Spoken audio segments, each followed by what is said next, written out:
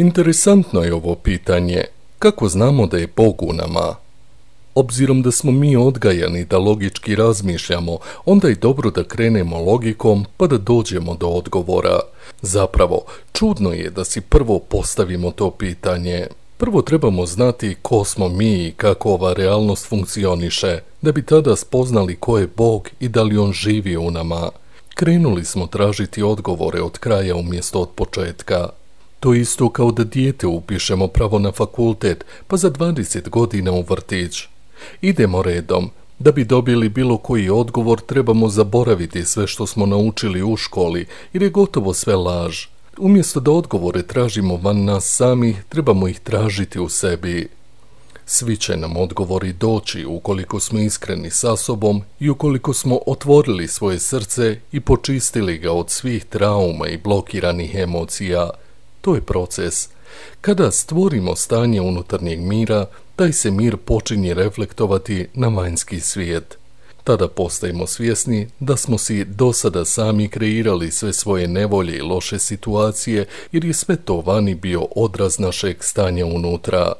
Sada razumijemo da su nam sve naše bolesti, loši odnosi, nedostatak novca ili bilo koja nezadovoljavajuća situacija bile date kao lekcije kroz koje smo rasli i u kojima smo pobjedili svoje krivo programiranje, mijenjajući pritom svoja kriva uvjerenja.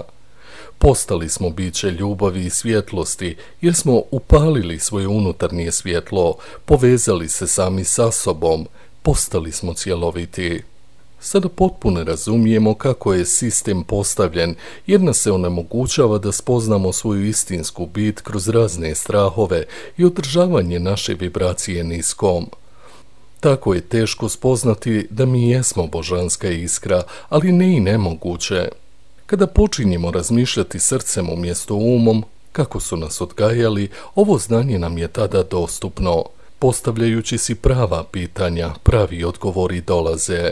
Zato sada i znamo da smo božanska iskra, da Bog djeluje kroz nas sve, da je sve prisutan u svemu što vidimo. Uvijek smo povezani s Bogom. Znamo da svako od nas posjeduje dijeliš upravo onih vještina s kojima može doprinijeti da slika novog svijeta koji se sada rađa bude savršena. Spoznali smo da smo svi mi dijelovi jedne svijesti i da zato postoje znanstveni dokazi. Naš je dosadašnji život bio škola za bogove i boginje. Ko se probudio, položio i ispit. Autor Ljiljana Posavec. Više informacija možete naći u knjigama Slobodna volja ključ za ispunjenje i osobno uzašašće i novoj knjizi Zlatno doba je počelo. Uđite, vrata su otvorena. Knjige možete poručiti putem e-maila ljiljanaposavec.gmail.com Treća dimenzija, pretplatite se na naš kanal. Hvala vam.